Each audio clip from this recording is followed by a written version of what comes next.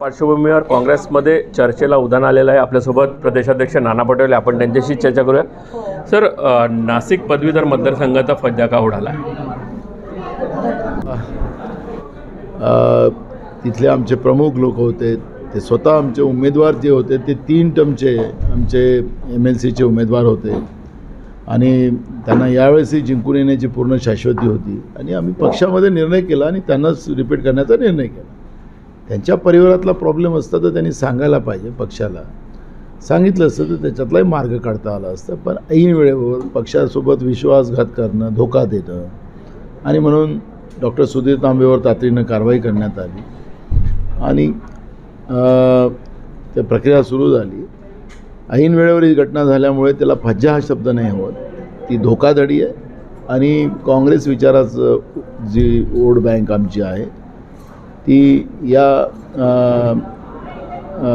या पद्धतीचा जो धोका झाला त्याच्याबद्दलचं आमची त्या भागातली लोक सक्रिय आहेत समजदार आहेत आणि योग्य निर्णय लोक घेतील. पण एक चर्चा अ, नाशिक आणि नगरमध्ये आहे की थोरात वर्सेस अ, पटोले असा हा संघर्ष आहे?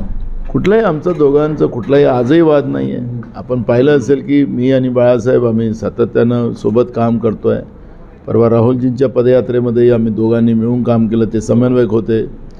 आणि कुठलाही नाही पण त्यांच्या परिवारातला जो काही विषू असेल तो पक्षाच्या याच्यावर येत नाही.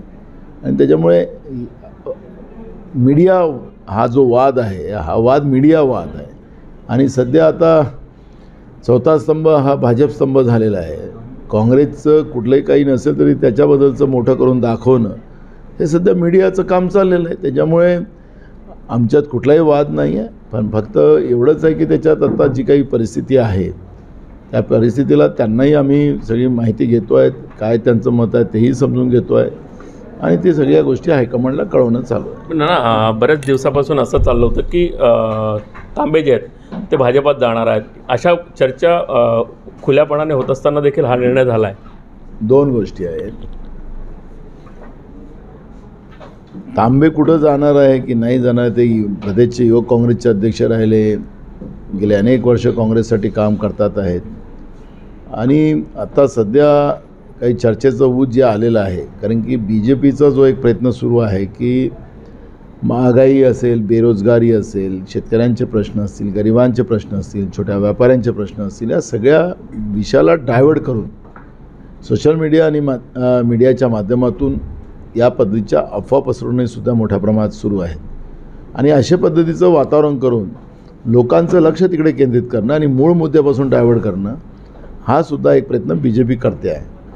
आता ते समजदार होते तेवढे त्यांनी अशी चूक का करावी हा एक प्रश्न सगळ्याच काँग्रेसच्या कार्यकर्त्या आणि नेत्यांना इथं पडलेला आहे.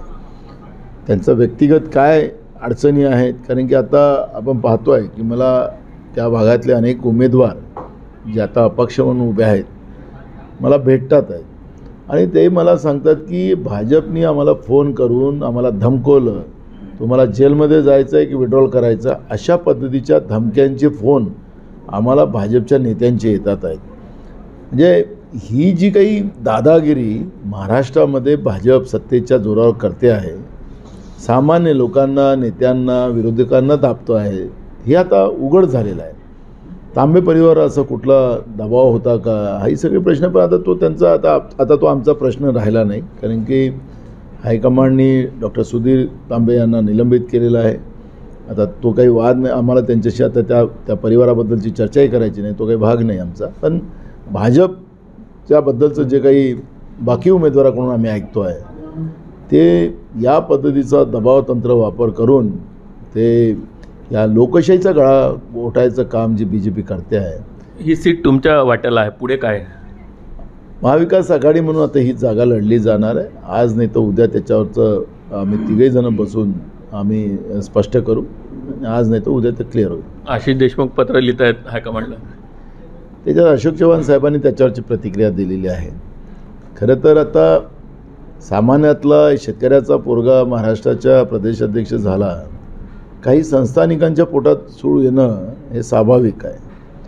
आणि उद्या काँग्रेस सत्तेत येत आहे त्याच्यामुळे आतापासूनच आपण काही कामाला लागावं असाही काही प्रयत्न करतात आहेत. कारण की सोन्याचा चम्मच घेऊन जन्माला आलेली आहेत काँग्रेसच्या भरोश्यावर मोठे झालेली लोक आहेत.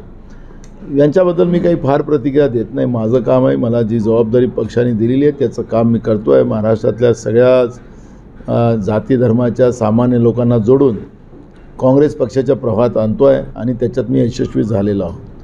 जे काही निकाल आता स्थानिक स्वराज्य संस्थांची आलेले आहेत. मीडियामध्ये काही वेगळं दाखवा. पण वस्तुस्थिती आपण गेलात तर ग्रामपंचायतीमध्ये काँग्रेस आणि महाविकास आघाडीला जास्त लोकांनी पसंती दिलेली आहे.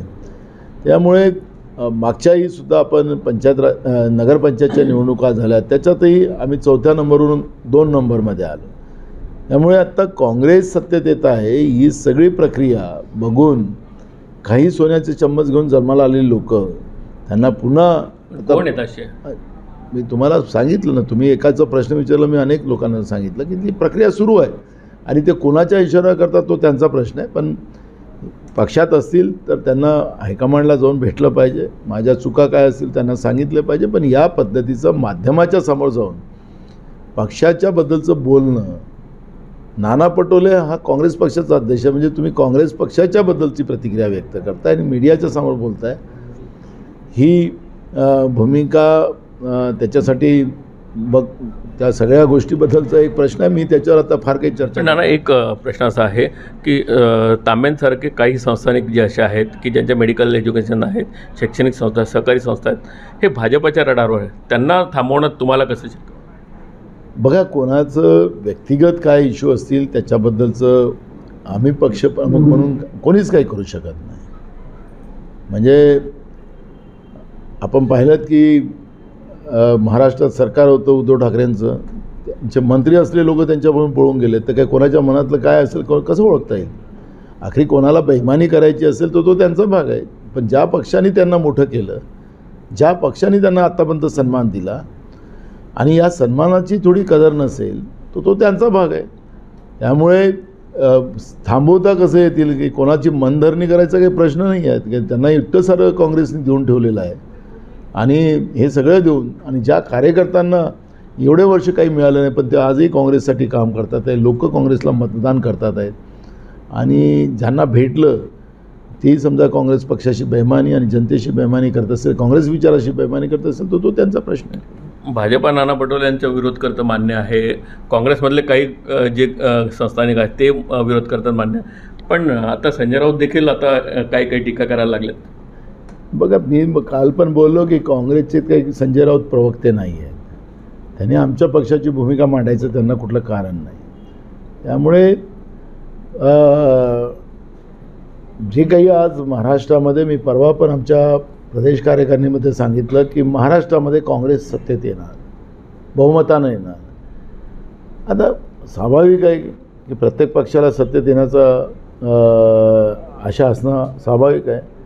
काँग्रेस सत्तेत येतं मग आमचं काय असंही काही काही लोकांच्या मनात येत असेल काही ज्यांची लोकांची नावं घेतली तर त्यांना तेही पोटसोड येत असेल. मी त्यांच्याबद्दल क- मी म्हणून त्यांच्याबद्दलची प्रतिक्रिया देत नाही. मी फक्त एवढंच पण नाना पटोले पुरून उरतीलच मी नाही जनता काँग्रेससोबत आहे. मी मी म्हणून नाही.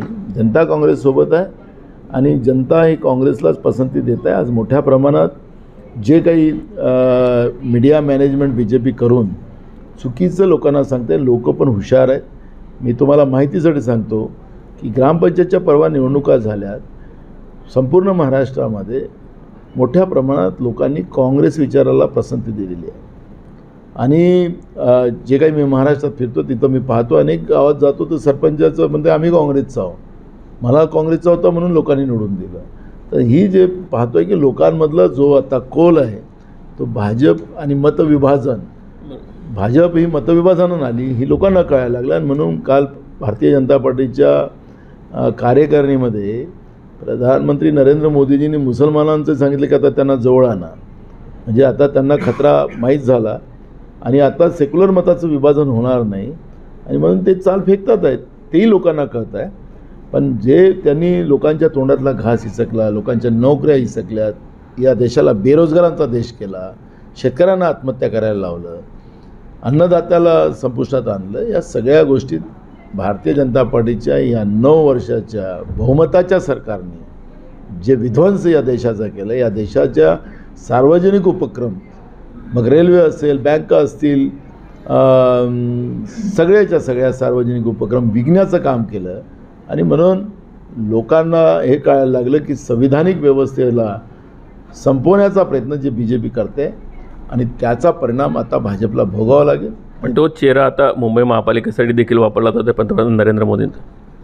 तुम्हाला मी मला त्याच गोष्टीचं मी जे पाहत होतो पेपरला बातम्या की काय काय का कार्यक्रमाचं ते उद्घाटन करणार आहे तर ते गटारांचे पण करतात.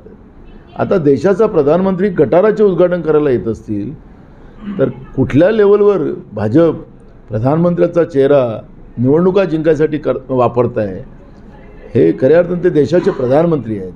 आणि देशाचे प्रधानमंत्री गटाराचं उद्घाटन करत असतील ब- तर मग हे तर देशाचा अवमान करत आहेत मोठं जे आमचे राज्यातले उद्योग पळून नेले गुजरातच्या निवडणुकीमध्ये छत्रपती शिवाजी महाराजांचा भव्य प्रतिमा अरबी समुद्रात बसवण्याचं सात वर्षाच्या पहिले जे आश्वासन नाही भूमिपूजन केलं होतं ते सगळे प्रश्न त्याचं उद्घाटन करायला आले असते तर आम्हाला आनंद झाला असता. आम्ही पण गेलो असतो. नसते बोललो तरी आम्ही गेलो असतो.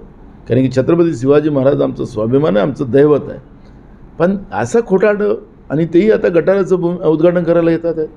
हे देशाच्या जनतेचं आणि राज्याचा अवमान करण्याचं काम भाजपच्या वतीनं प्रधानमंत्री खुर्चीचा होत आहे असं आम्हाला वाटतं. नक्कीच स्थानिक स्वराज्य संस्थेच्या निवडणुकीत योग्य निर्णय जो आहे तो लवकर होईल असा विश्वास जो आहे तो नाना पटोले यांनी या ठिकाणी व्यक्त केला आहे. जर्नलिस्ट कृष्णासह प्रफुल्ल साळुंखे लाइट साहेब